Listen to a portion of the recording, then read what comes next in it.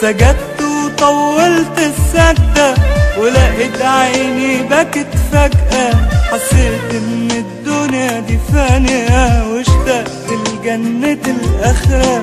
سمعت آيات من قرآنا خلتنا نطمع في غفرانة خلتنا نخشع من سلطانة.